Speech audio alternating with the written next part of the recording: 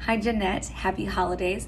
As we enter into this season, I just wanted to send a personal thank you to you and all the Swiss Re employees for your continued support of the American Red Cross and helping us deliver our mission of preventing and alleviating human suffering in the face of emergencies.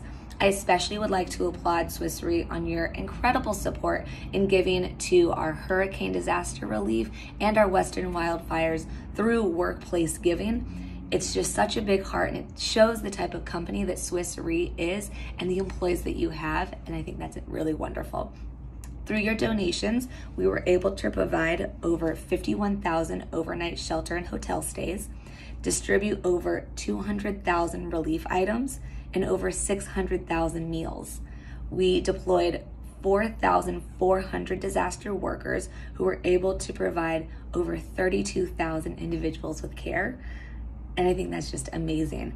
Um, our work at the Red Cross is 24 7, 365, and we couldn't do without partners like Swiss Re. You are an imperative part of the process, and thank you so much for stepping up and for your continued giving and support. If you have any questions or would like to give more this holiday season, you know where to reach me. Thank you so much and happy holidays.